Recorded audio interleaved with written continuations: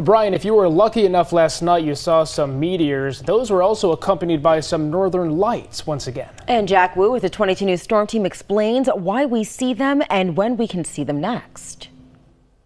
The night sky was lit up with such beautiful colors yesterday, and let's talk about how those form. So that's called an aurora in the northern hemisphere. It's an aurora borealis. In the southern hemisphere, this also happens called an aurora australis.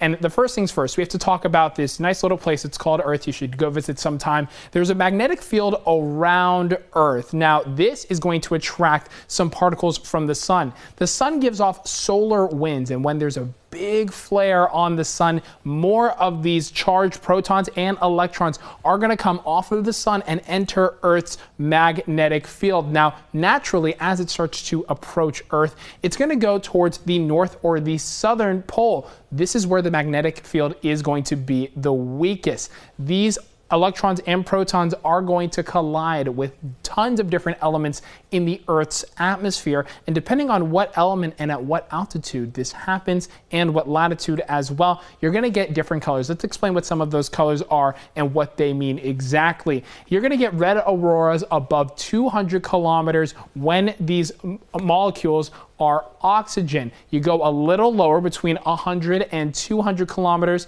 If it collides with nitrogen, it'll appear blue. You'll get green auroras when it's at that same altitude, but it appear but it collides with oxygen. And then the lower ones, when they collide with nitrogen, 100 kilometers or below, you're going to get pink. They're be, they're able to be viewed the best at midnight, but when you get big solar flares like this, you can view them as early as right after the sun sets to right when the sun rises, and we could get that same reaction this evening. Working for you, I'm Jack Wu with the 22 News Storm Team.